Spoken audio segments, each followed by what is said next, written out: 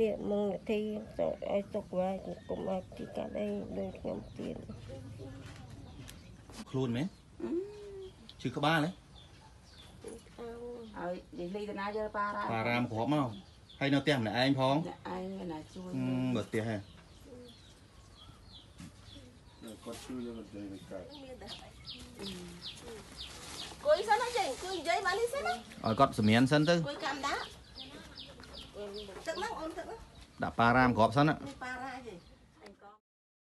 បាទមកដល់រឿងកំសត់ដល់បងស្រីម្នាក់ដែលរស់នៅ ម្នាក់ឯងដែលគាត់ឈ្មោះថាញឹបក្រមបាទហើយអាយុ57ឆ្នាំ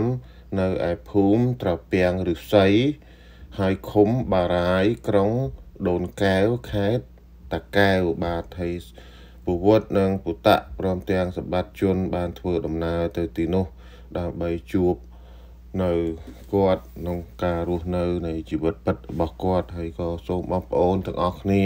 តាមដានទស្សនាជាមួយនឹងជីវិតពិតដ៏កំសត់របស់គាត់តើដូចម្ដេចខ្លះបាទក៏សូមទស្សនាដូចតទៅបាទខ្ញុំបាទពវត្តបាទសូមគោរពជម្រាបសួរបាទទៅកាន់ក្នុងភូមិមីងពុកម៉ែបងប្អូនបាទសាជាថ្មីម្ដងទៀតហើយបាទ បាទខ្ញុំបាទពុតៈក៏សូមអនុញ្ញាតគោរពជំរាបសួរទៅដល់អ៊ំពូមីងលោកយាយលោកតាទាំងអស់ដែលកំពុងតាមដានទស្សនានៅក្នុង channel យើងខ្ញុំបាទទាំងអស់គ្នានេះទាំងក្នុងទាំងក្រៅប្រទេសផងដែរបាទបាទដោយសារតែខ្ញុំក៏បានអឺមិនទាន់បានចាក់ឆ្ងាយពីភូមិឃុំខាងលើនេះទេ បាទឃុំឫស្សីបាទឃុំរុស័យភូមិទៅពាំងឃុំទៅពាំងឫស្សីឃុំឫស្សីឃុំបារាយបាទក្រុងដូនកែវខេត្តតាខេត្តកែកែវវបាទបាទអឺ ខ្ញុំបាទពវត្តពុតៈក៏មិនទាន់បានចាក់ឆ្ងាយអំពីភូមិឃុំខាងលើនេះទេដោយទទួលដំណឹងអំពីអឺមីងមីងបាទដែលគាត់រស់នៅក្នុងភូមិស្រុកខាងលើនេះបាទគាត់បានប្រាប់ខ្ញុំថាមានអឺលោកអ្នកមីងម្នាក់ដែលគាត់អឺនឹងកំមីពុងងនឹងមីងឃុំហ៎បាទអ្នកមីងក្រុមបាទបាទដែលគាត់កំពុងតែខ្វះខាតហើយជាពិសេសហ្នឹងគឺអឺនៅសល់អង្គតែមួយកំប៉ុងតែប៉ុណ្ណោះអំពុំវិញបាទសម្រាប់ដាំបាយហូបហើយឃើញថាគាត់អឺអត់ទៅស្រួលខ្លួនទៀតហើយណាមួយក៏គាត់អត់មានថវិកា សម្រាប់ទៅពេទ្យទិញថ្នាំសង្កូវដើម្បីព្យាបាលជំងឺនោះទេ បាទហើយគាត់បានអឺអ្នកចិត្តខាងគេហុចថ្នាំបាទប៉ារ៉ាអីមកគ្រាប់អីចឹងឲ្យចឹងណាបាទដើម្បីឲ្យគាត់បានរៀងត្រជាក់ខ្លួនត្រជាក់សាច់អីចឹងទៅបាទបាទឃើញថាមានសភាពយ៉ាក់យ៉ាប់មែនតើហើយណាមួយទៀតគឺឮដំណឹងថាគាត់រស់នៅតែម្នាក់ឯងទេបាទបាទបាទអញ្ចឹងខ្ញុំពពុទ្ធពុតៈក៏មានថវិកាសប្បុរសជនសម្រាប់ជួយពួកគាត់បានខ្លះគាត់បានដោះស្រាយទៅជីវភាពបាទ បាទឲ្យគាត់មានការហូបចុកឬក៏ថ្នាំសង្កូវអីផ្សេងផ្សេងអញ្ចឹងបាទអញ្ចឹងហើយឥឡូវនេះដើម្បីអឺ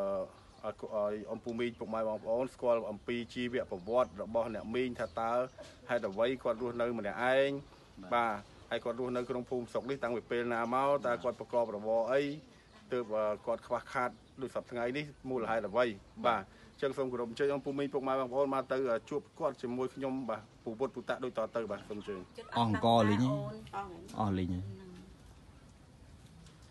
នៅតែម្នាក់ឯងទេមាននេះទេបងប្អូនក៏អត់អីក៏អត់តែថាមានបងប្អូនញាតិហ្នឹងហើយមីងមីងឯងអ្នកចិត្តខាងអីចឹងចាខ្ញុំអ្នកចិត្តខាងបាទចាហើយបងប្អូនមិនតិចអត់មានផងទេគាត់តែម្នាក់គាត់តាំងពី79មកបងប្អូនច្រើនណាអូនអញ្ចឹង10នាក់ហឹម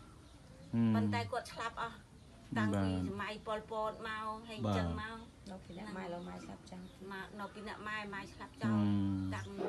ពីឆ្នាំប្រហែលនេះខ្ញុំមិនដឹងដែរខ្ញុំនៅបាទនេះដែរហ្នឹងអញ្ចឹងគាត់ឥឡូវហ្នឹងគាត់អស់អង្គហូបហើយគាត់មីងឆ្លាប់តាំងពីឆ្នាំ70អស់ណែគាត់អស់អង្គហើយបងគាត់អស់អង្គអស់អង្គលេងហ្មង90មេអឺមេងអឺអ៊ំអស់អង្គលេងហ៎អ៊ំហ៎អូក៏នៅសល់ប៉ុន្មានកំប៉ុង តើមកបង មកបងក្នុងណា មកកំប៉ុងក្នុងណាំងថារៀបដាំហ្នឹងហីហឹមអស់អង្គបាត់ហើយយាយអើគាត់អត់មែនណាអូនណានៅស្រុកនៅភូមិនេះគេដឹងគ្រប់តែគ្នាហើយគាត់នឹងម្នាក់ឯងទីទាល់ទីតលចាមានអីទេណាមានបងគ្មានប្អូនអីមានបងមានប្អូតែនមិនក៏វាមិនក៏ប៉ុណ្ណឹងហ្នឹងហើយអ្នកស្រុកអ្នកភូមិដឹងហើយផ្ទះក៏ឃុំធ្វើឲ្យនៅ បាទនឹងដីស្រែមិនអត់ទេមានប្រហែលអាដែរប្រហែលនេះស្រែនេះប្រហែល4អា5អាលោកចាយអស់ហើយ5អាលោកចាយអស់មួយយ៉ាងគាត់មើលជំងឺគាត់មើលឈឺផងហើយឈឺរហូតចាឈឺខ្លួនតែមីងឈ្មោះអីដែរមីងខ្ញុំជិះគុំចយាយ nhập crom nông mà ញឹបក្រុមញ៉ាប់ក្រុមក្នុងភូមិនេះគេហៅយាយខុំយាយក្រុមយាយក្រុមហ្នឹងណាបាទចុះគាត់ថាគេហៅយីគុំហើយអឺមានមានបងប្អូនប៉ុន្មានអ្នក nhưng mà miền bao phố nên là ai mà នៅតែម្នាក់ឯងតាំងពីណាមកនៅមានតាំងពីប៉ុលពតមក tăng cái bột mà ហ្នឹងហើយចុះពុកម្ដាយទៅណាអស់ slap ở hai ស្លាប់អស់ហើយចាតាគាត់ឆ្លាប់កាលលើ slap pi hột 79ហ្នឹងអើយការរត់ហ្នឹង nó ban tham quạt cho tao cho tao ហើយយាយគាត់ទៅឆ្លាប់ឆ្នាំយាយឆ្លាប់ឆ្នាំ90ឯង cao ប៉ុល tao យ៉ានខ្ញុំនំកើតឯងឆ្នាំ ហើយភូមិឃុំខាងលើនេះជាស្រុកអឺកំណើតផ្ទាល់ឬក៏មានចាក់ចំណាក់ស្រុកមកពីខាងណាវិញ cha ហើយឪពុកម្ដាយក៏ស្លាប់នៅក្នុងដែរ cha អូបាទហើយតាំងពីដើមមកហ្នឹងគឺអត់មានប្តីអត់មានគ្រួសារអីទេ ọt miền này miền này ai này ស៊ីងកលអ្នកឯងទេ cha ហើយសប្ងៃអាយុប៉ុន្មានហើយ đăng má 57 53ហាំមិនណាហាំ đăng 57 má ហើយប្រកបរបរអីដែរមីងតាំងពីដើមមកដើម្បីចាំនៃជីវភាព ừ bọt bọt mà bọt ấy cô ní nó miền កាលហ្នឹងចាំមានគោមួយ cô muối ហើយទៅចាឈឺយ៉ាងហ្នឹងគោហ្នឹងលក់ទៅ nó miền ấy ọt thôi មានអីបានដូចថានេះចឹងបងប្អូនចដូនមួយហ្នឹងនៅចិត្តចឹងគេចាជួយឲ្យអញ្ចឹងទៅណាលោកគ្រូបាទហើយចុះមីងត្រូវមិនមួយគាត់ ខ្ញុំនឹងត្រូវអ្នកជិតក្ខាមួយងហ៎គាត់ហ្នឹងអ្នកចិត្តត្រូវខាងក្មួយហ៎ចាក្មួយឬមួយក៏មិនអើយម៉ែខ្ញុំហើយនឹងអើយអឺនេះម៉ែខ្ញុំក្មួយអឺណែក្មួយយាយអញ្ចឹងចាក្មួយយាយហើយចឹងគាត់ត្រូវត្រូវមីងចាគាត់ត្រូវអ៊ីខ្ញុំបាទមីងមីងក្រុមហើយចុះមីងឈ្មោះអីដែរខ្ញុំមកភី phì ឈ្មោះភីភីភីភីភេភៀចា phì អ្នកមីងក្រុមក្មួយភៀចាអូបាទអាយុប៉ុន្មានទេ បងខ្ញុំណាគ្នាណាគ្នាចាអាយុណាគាត់ណាអូមីងឲ្យក្មួយតាណាគ្នាប៉ុន្តែក្មួយក្មេងជាងចុះមីងប៉ុនឈឺវាយ៉ាងបងឈឺមីងហើយណាមួយគាត់នៅម្នាក់ឯងជីវភាពគាត់ខ្វះខាតច្រើន chị khoa khát gạt ní nó បាទបាច់និយាយរួចរួចហើយចេះតែមិនក្នុងខ្លួនហ្នឹង cái đau ក្តៅ mà nó mà nó đau đây ca nó đây ta ở dây ra bên đi mau đi mà ទៅឈឺយើងរហូតទៅដេកផ្ទះអើយហើយមានបានយាយកាលមានបានទៅពេទ្យទៅអីហ្នឹង pet chết đi đau អត់តបានទៅទេនៅដោយសារតែអត់មានថវិកាទៅអញ្ចឹងហ្នឹងមិញ ừ. អូអឺមិនចា cha ខ្លាចទៅហើយចុះឥឡូវនេះគឺមានមានមុខរបរអីទេឥឡូវនេះ ọt mới nổi không អ ត់រយចេះបានឲ្យហូបទៅ tam nào bắt nhung បានក្មួយហុចអីទៅជួយចឹងចាទៅអើយនេះចឹងគេដល់ខែចឹងបានលុយខ្លះដែរហ្នឹងណា mà lui cái có បានលុយក្រៃក្រហ្នឹងគាត់មានបានកៃកដែរបងចាមានឲ្យភូមិឲ្យចេះឲ្យហូបចឹងទៅណាបាទចេះតែហូបចុកអីចឹងទៅអឺចា បេះបន្លែប្លុកអីស្លោស្លុកអីតិចតួចចឹងទៅអញ្ចឹងហ្នឹងមិញចាចុះគាត់ម្នាក់ឯងហើយមូលហេតុអីបានអឺអត់យកគ្រួសារ Ôi, vô ấy vô ngon người thợ ba đá យកអ្នកស្រឡាញ់ទៅ Ô, chân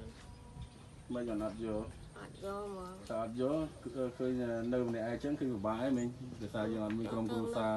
việc vạ về ai cũ ấy người ta mới ពិបាក តែឥឡូវហ្នឹងគឺបើទៅធ្វើកិច្ចការអីផ្សេងទៀតក៏អត់មានកម្លាំងមហែងឲ្យធ្វើដែរ miền Nam អត់មានកម្លាំងឲ្យធ្វើទេធ្វើអីក៏អត់កើតដែរអញ្ចឹង ừ. មានតាមដំណើរអញ្ចឹងទៅ cha មានក៏ហូបមិនមានក៏អត់អញ្ចឹងទៅ ừ. បាទកាលមុននៅមានកម្លាំងនៅដូចថាធ្វើស្រែធ្វើភ្លឺអីចឹងនៅគេជួលគេអីចឹងណាគេ ចាទៅស្ទុំទៅជ្រូតទៅអីគេចឹងបានយកមកហូបណាលោកគ្រូបាទចាដល់ពេលឥឡូវគេប្រើសាំសិនសាអីអស់ហើយយើងទៅរកអីណាអីណាមួយខ្លួនកាន់តែចាស់ទៅហើយកម្លាំងកាន់ដុនដាបអឺហើយមានគោអីបបាស់បបាស់អីគេមួយពីរទេអត់ទេណា Ờ, ទៅមើលអឺគោនឹងទៅអឺលក់ដែរនឹងឈឺ នេះឡៃតែឈឺអញ្ចឹងបានគោនឹងចាំជាប់រហូតដែរហ្នឹងណាគាត់នឹងមិននេះអីដល់ពេលឈឺតិចឈឺតិចឈឺយើងក៏ធ្វើមិនកើតចានាំមានថាគោនឹងលក់ទៅទុកធ្វើអីនាំពិបាក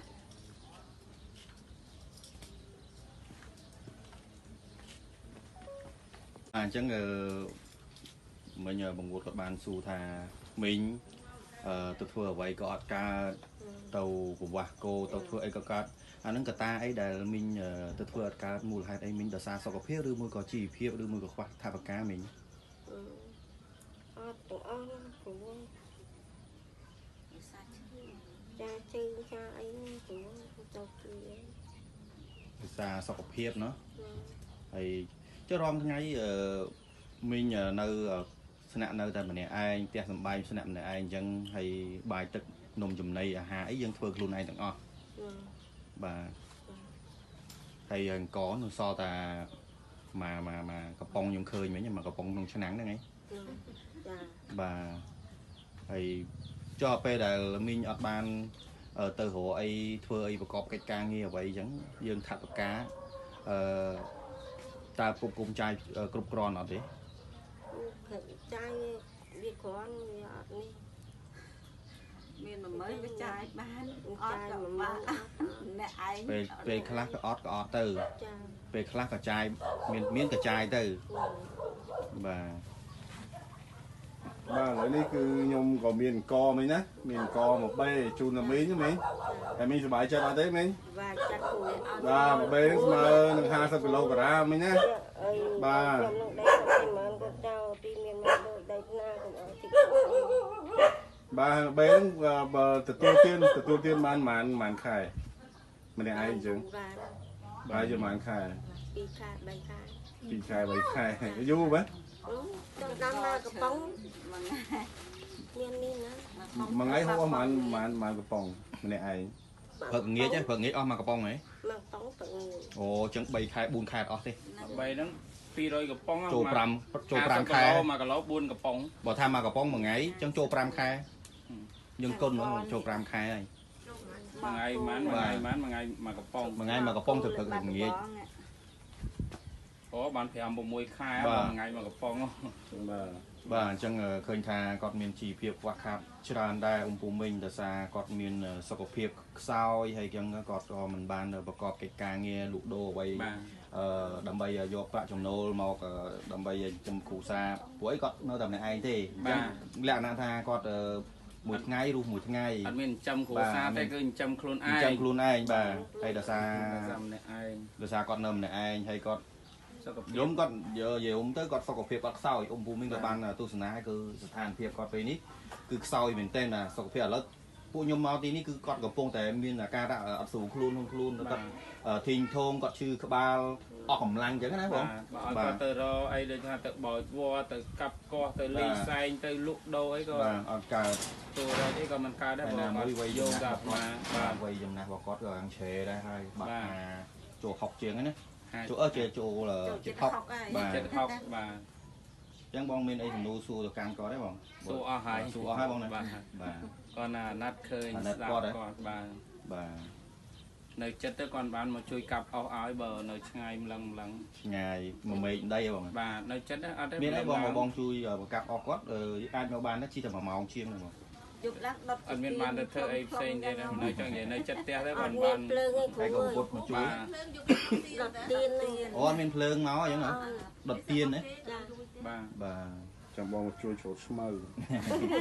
បាទ ប៉ិនទឹកបាននៅខាងរដ្ឋកោទឹកឲ្យឲ្យដាក់កយោដាក់អីបាទបាទអំពូមីងពុកម៉ែបងប្អូនបាទជាទីគោរពទាំងអស់គ្នាដោយសារតែគាត់របស់បានរៀបរាប់ថាគាត់មានអឺជីវភាពខ្វះខាតបាទហើយក៏រស់នៅតែម្នាក់ឯងបាទគ្មានបងគ្មានប្អូនទេបាទហើយក៏មុខរបរក៏អត់ដីស្រែដីចកាក៏អត់បាទហើយទៅធ្វើមុខរបរប្រកបរបរអីក៏មិនកើតដែរដោយសារតែគាត់មានជំងឺប្រចាំកាយផងអីផងហើយ ណាមួយគាត់មានអឺវ័យក៏ចាស់ជរាណាស់ទៅហើយដែរបាទបាទអញ្ចឹងហើយថ្ងៃនេះគឺខ្ញុំក៏មានថវិកាឧបត្ថម្ភបាទអង្គរមួយបេបាទបាទនឹងថវិកាចំនួន100,000រៀលស្មើនឹង25ដុល្លារបាទដែលជាថវិការបស់បងបងធីបាទបងធីហៅថា Mr. T បាទដែលគាត់រស់នៅរដ្ឋ California ទីក្រុង Long Beach សហរដ្ឋអាមេរិកបាទបាទ គាត់បានផ្ញើតាមរយៈខ្ញុំដើម្បីយកទៅជួយពួកគាត់ឲ្យអឺឲ្យគាត់មានការហូបចុក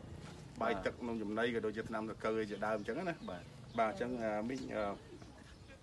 ថាប់ការ100000រៀលបាននឹងអង្គមួយបេនេះបាទជារបស់បងធីរស់នៅ Long Beach California បាទបាទ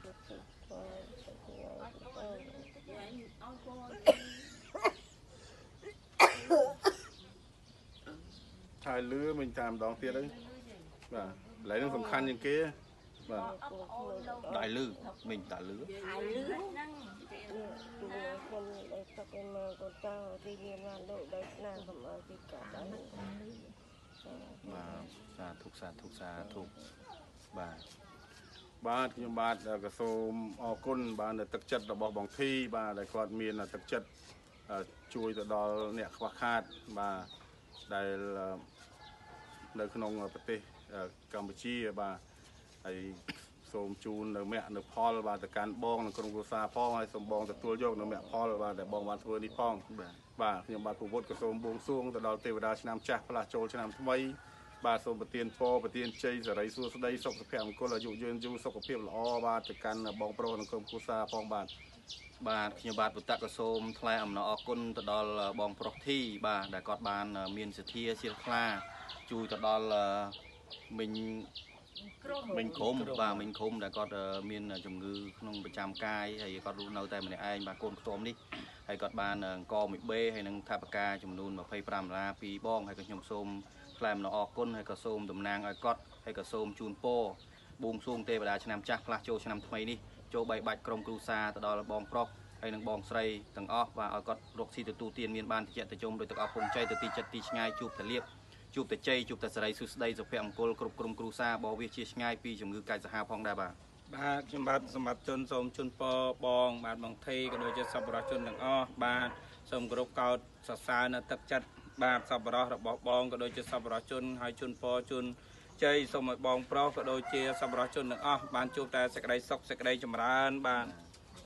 បាទខ្ញុំបាទក៏សូមគោរព ជូនពរទៅកាន់អង្គពូមីងពុកម៉ែបងប្អូនដែលកំពុងទស្សនានិងមិនទស្សនាផងបាទសូមទទួលយកមគ្គផលទាំងអស់គ្នាជាពិសេសនឹងឲ្យជួបផ្ទះតែពុទ្ធពរទាំងឡាយ4ប្រការគឺអាយុវណ្ណៈសុខៈពលៈក៏បីគ្លៀងគ្លៀឡើយបាទនៅទីបញ្ចប់នេះខ្ញុំបាទទាំង3សូមអរគុណនិងសូមគោរពលាបាទបាទអញ្ចឹងមិញមានលាសិនមិញណាសុខសប្បាយអរគុណច្រើនបាទអ្នកមិនបានក៏អរគុណដែរណាអរបាទគុណបាទបាទបាទមានលាសិនមិញណាចាបាទ លោកគ្រូមកនឹងឲ្យសុំដែរតាមផ្លូវបាទបាទសាធុកន្លែងណាជួបតែសំណាងល្អស្អីបាទបាទអរគុណសាធុបាទបានបុណ្យតំណាងឲ្យគាត់តិចមកចឹងចាចាជូនពរម្ចាស់ជំនួយហ្នឹងលោកគ្រូធីហ្នឹងហ្នឹងហើយនឹងក្រុមគ្រួសារទាំងអស់ហ្នឹងឲ្យទៅទីកន្លែងណាជួបប្រទះទៅសេចក្តីសុខនិងសេចក្តីចម្រើនសុខសប្បាយទាំងអស់គ្នាចាត្រង់អ្នកមកហ្នឹងត្រង់នៅអឺ អ្នកជំនួយហ្នឹងទាំងអស់ហ្នឹងហើយចាសាធុសាធុចាមិនចឹងឯងលោកយាយចាហេយ៉ាតាប់តនណាលោកយាយតោះណាលោកយាយហេយ៉ាពះចៅបាបចៅឡើយបាអីហ៎បាបឡើយហងបាទតាមប្រវត្តិរឿងរ៉ាវរបស់បងញាប់ក្រុមដែលមានអាយុ57ឆ្នាំ នៅភូមិត្រពាំងឫស្សីឃុំបារាយក្រុង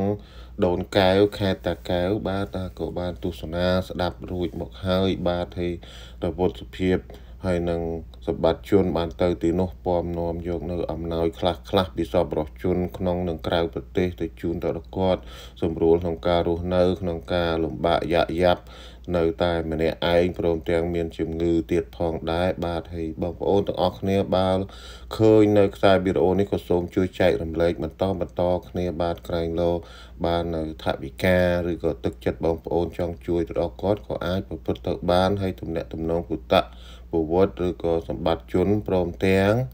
ជាងហុកក៏បានដែរបាទតែអាចផ្ញើ direct ទៅគាត់បើបងប្អូនអត់មជ្ឈបាយអាចទំនាក់ទំនងខ្ញុំ980 636 3734ហើយនឹងបាទពិភាក្សាពីគ្រោះអ្នកដែលកំពុងតែមានការលំបាកទាំងអស់នោះបាទហើយ រាល់កំហុសឆ្គងក៏សូមអព្យាស្រ័យផងបាទព្រោះអីខ្ញុំបាទគ្រាន់តែក្នុងការចែករំលែកមានប៉ះពាល់ទៅដល់អារម្មណ៍របស់បងប្អូនក៏សូមបងប្អូនទាំងអស់គ្នាអព្យាស្រ័យព្រោះអីមិនមានបំណងណាមួយដើម្បីធ្វើឲ្យមានការលំបាកឬក៏អអន់សពុនចិត្តឬក៏ខ្នើសចិត្តទៅដល់បងប្អូនគ្រាន់តែក្នុងការចែករំលែកដោយទឹកចិត្តអឺខ្មែរដូចគ្នា មានការលំបាក ដែលយើងធ្លាប់រស់នៅទីនោះយើងដឹងច្បាស់ចំពោះអ្វីដែលក្នុងការលំបាកទីទាល់បាទពុំមាននៅច្រកចេញនោះទេ មានតែយើងនៅទីនេះក៏ពុំជាអ្នកមានអីដែរគ្រាន់តែយើងមានជីវភាពទូធាអាចចែកអាចរំលែកអ្វីដែលយើងមានទៅនៅទីនេះជូនទៅដល់គាត់បានប្រើប្រាស់និងឲ្យបាននៅសេចក្តីសុខ ផងដែរបាទហើយបងប្អូនទាំងអស់គ្នាក៏សូមឲ្យសុខកាយសប្បាយចិត្តគំនិតល្អជួបតែសុភមង្គលគ្រប់ប្រការហើយនឹងរកប្រកបមុខរបរអីសូមឲ្យរីកចម្រើនកើននៅ ប្រាជ្ញា បាននៅអ្វីដែលជាវត្ថុប្រាថ្នាគ្រប់យ៉ាងហើយនឹងសូមឲ្យមាន សុខភាពល្អគ្រប់គ្រប់គ្នា បាទខ្ញុំបាទក៏សូមជុំរៀបលាមាន ប្រមាណប៉ុណ្ណេះបាទ